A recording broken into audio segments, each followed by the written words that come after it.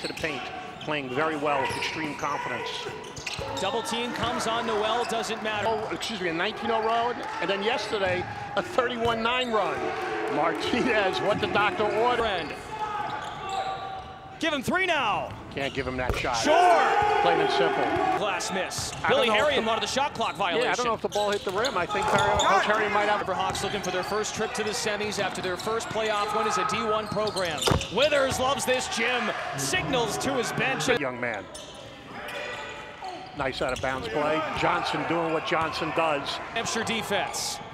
Johnson right off the catch, dashes and finishes. Wow, that's impressive. Proving why he's rookie of the week. Coach Duquette, something went wrong in transition defense. He- Similar to how the Riverhawks did it against Stony Brook yesterday. Kalil Thomas, uh, rather Noel, pardon me, that is a three. High four threes in this building at the beginning of the month. Into Boudie, there he is, setting tone in the second half. Counters in the paint. Back into the offense. Boudie spins right off the shoulder, grabs it back and lays it in. Salif Boudie. Can Noel get him there?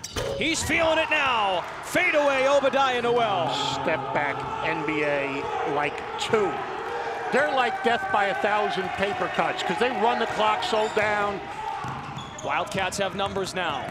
Johnson, layup good. That's an easy basket really well, and they're dangerous right now. Their confidence is at an all-time high. Because this kid is feeling it. Back from a five-game absence yesterday. Big possession. Wildcats cut it to single digits. Count the basket for Guadarrama. Coach in his 30th year. Wildcats don't have to rush. Martinez swirls in a three, and it's down to six.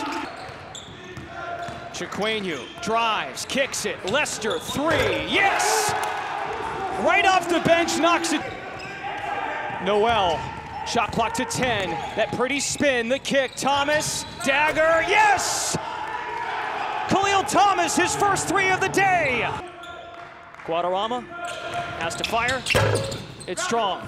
And for the first time in program history, UMass Lowell is heading to the America East semifinals on the back of Obadiah Noel and head coach Pat Duquette.